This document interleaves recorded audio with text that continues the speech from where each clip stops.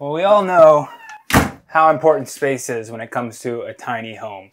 And finding a place for every little thing can be really difficult. But we got creative here and utilized the entryway for a shower. And we haven't seen this before, but as soon as you walk in the door, you're met with this tile and this shower head. Look at that, super cool. You have the shower nozzle here and you just turn it on and you can have either a raindrop, rain style shower or we also have this little handle installed to shower.